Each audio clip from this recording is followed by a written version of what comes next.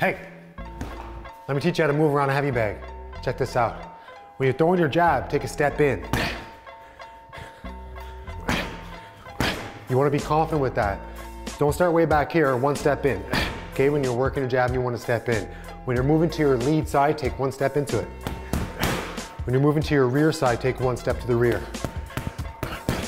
When you're in tight, you don't wanna step out two steps because then you can't make contact. So when you're in tight, one step backwards.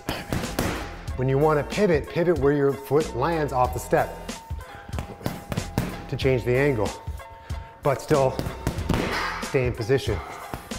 If you wanna bounce, make sure you're bouncing within range. So you're never out of position.